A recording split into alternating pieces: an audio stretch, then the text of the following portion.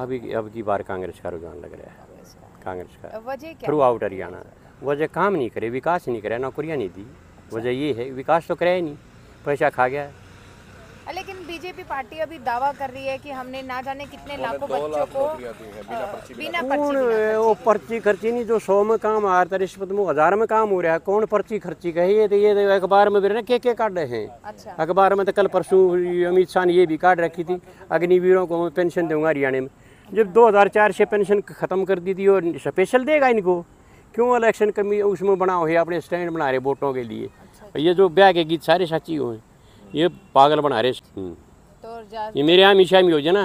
अमित शाह ही मैं जवाब दे दूँ इनको सारे। अच्छा अभी भी यही बातचीत चल रही है कि अगर ऊपर मोदी है तो नीचे अगर कांग्रेस रहती मोदी अगली बार सौ सवा सौ सीट तक नहीं ले सकता एमपी में। ये मेरे मोदी की पूछ लो अब की बार दो सौ चालीस आई है ना।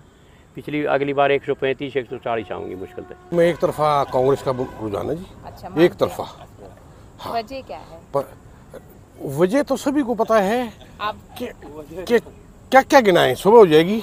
अच्छा। हाँ इतना भारी जो कर रखे है ना बीजेपी ने कभी कभी हमने सोचा भी नहीं था।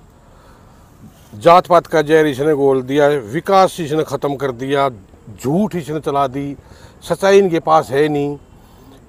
मतलब क्या क्या बताएँ इनके बारे में? कफन कफन पे भी टैक्स है जीएसटी है, कफन के ऊपर भी। हाँ। आह्वान करें उसके सामग्री के ऊपर भी जीएसटी है। बच्चों की किताबों पर अट्ठाईस परसेंट जीएसटी है। कलम पे कलम पे पैरे लगा दिए। अट्ठाईस परसेंट जीएसटी कौन पढ़ेगा? कहाँ से आएगी शिक्षा? और शिक्षा से वंचित करना इनका काम है। सबको तिलकदारी बना दो। मंदिरों में घूमी जाएँगे मस्जिदों में घूमी जाएँगे लड़ाई करवा दो उसका मतलब कुछ भी नहीं है इनके पास। सिवाय झूठ खाट। बनाए बैठे डॉक्टर कुछ नहीं है इनके पास। अच्छा बीजेपी ने अभी संकल्प पत्र भी जारी किया है उसमें काफ़ी दावे किए हैं कि अम, नौकरियाँ देंगे काफ़ी ज़्यादा वो कहते हैं हमने दो लाख नौकरियाँ दी हैं हम आगे भी बिना खर्ची पर्ची के देंगे या फिर विकास करेंगे क्या मान मैडम मैं कौन सा विकास और कौन सी खर्ची खर्ची कौन सी पर्ची खर्ची की बात करते हैं ये लोग? कौन सी पर्ची खर्ची। पचास, साठ परसेंट लोग पैसे देकर भर्ती हुए हैं। आरक्षण खत्म कर दिया, जिनको आरक्षण मिलता था, उनका आरक्षण खत्म हो गया। मतलब एक पेपर में निकाल दिया, कौशल योजना। उस कौशल योजना में कितने बालक लगे? पंद्रह हज़ार में बारह हज़ार में आज इस महँगाई में खर्चा चलेगा क्या? सौ रुपये से कम सब्ज़ी नहीं मिल रही। कहाँ से काम चलाएगा? हाँ। और दूसरा क्या पूछ रहे थे आप? कि पार्टी दावा कर रही है कि आने वाले समय में जैसे महिलाओं को दो हज़ार रुपये हर महीने दिए जाएँगे ये और विकास हाँ हाँ हाँ वो पंद्रह पंद्रह करोड़ तो आगे नहीं सबके तो आए हुए हैं। मेरे तो आए नहीं है। पंद्रह पंद्रह करोड़ तो सबका आगे वो खर्चा नहीं। पंद्रह लाख। इन पे खर्च नहीं हो रहे वो पंद्रह लाख। बुढ़ापे में कहाँ खर्च हो? मानते हो कि अगर कांग्रेस आती है तो विकास झूठ झूठ को इतना झूठ बोला गया है कि वो सच्चाई में आने लगी है। सच्चाई ये है कि किसी के हाथ में कुछ आया ही नहीं। इनके सिर्फ़ का, इनके सिर्फ़ कागज़ कागज़ी वो हैं। ये खट्टर यहाँ ऐसा बैठा दिया। किसी की क्या किसी की समझ ही नहीं है। देहात क्या है शहर क्या है बुज़ुर्ग क्या है बूढ़ा क्या है किसान क्या है दुकानदार क्या है? क्या पता इसको? इसको किस बात का पता है? क्या मुख किसान मुख खोटा लगा के बैठे हैं।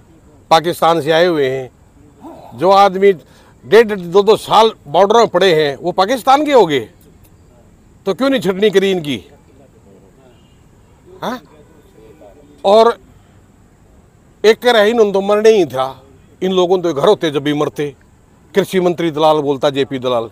भाई किसानों को तो मरना ही था घर होते जब भी मरते तो। मरना था इन्होंने तो।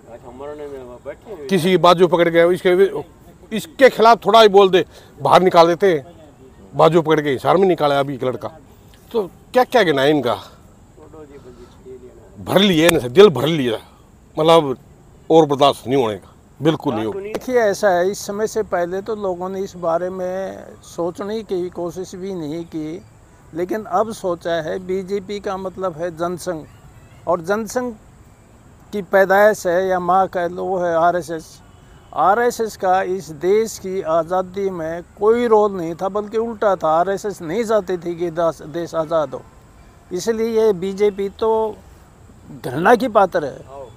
और इससे ज़्यादा और क्या कहा जा सकता है इनके लिए?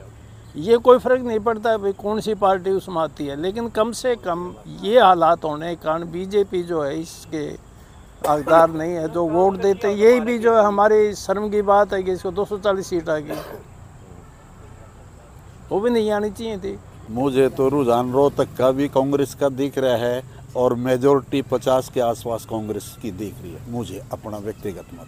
अच्छा आप व्यक्तिगत बता रहे हैं तो इसकी कोई खास वजह? खास वजह ये है कि प्रशासन जो अब तक था ना बीजेपी गवर्नमेंट में वो अच्छा नहीं था लोगों को तकलीफ़ दे रहा था।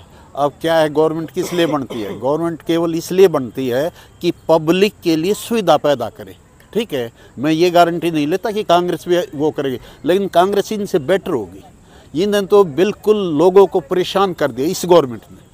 प्रेजेंट गवर्नमेंट जो है। अब लोग छिक चुके हैं, इसलिए छिकने के बाद बदलाव आता ही है। तो बदलाव, ये बदलाव की लहर चल रही है, इसलिए भूपेंद्र हुड्डा के नेतृत्व में ऐसा लगता है कि सरकार बनेगी, सौ परसेंट बनेगी, और ये जो है, सभी लोगों का मन लगभग लगभग हरियाणवी का मेजोरिटी का, सभी का तो नहीं होया करता, लेकिन मेजोरिटी का ऐसा मत है। सीएम फेस में अगर बात करें, भूपेंद्र हैं हाँ जी ये जितना हरियाणा के, ये कांग्रेस के लीडर है ना, इनमें सबसे बढ़िया चॉइस भूपेंद्र हुड्डा जी है।